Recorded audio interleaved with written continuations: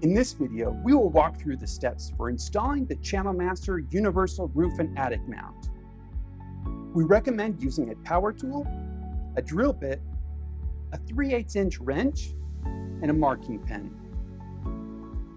Step 1. Mark and drill pilot holes. Use the angle bracket as shown to mark the location of your pilot holes.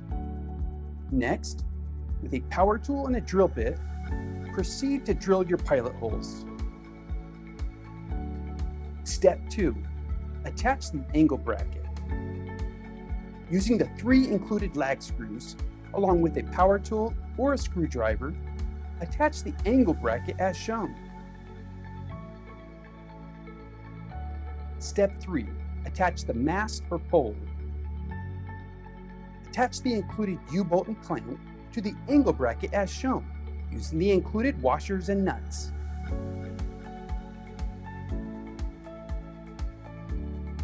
Next, slide the mast through the U-bolt as shown.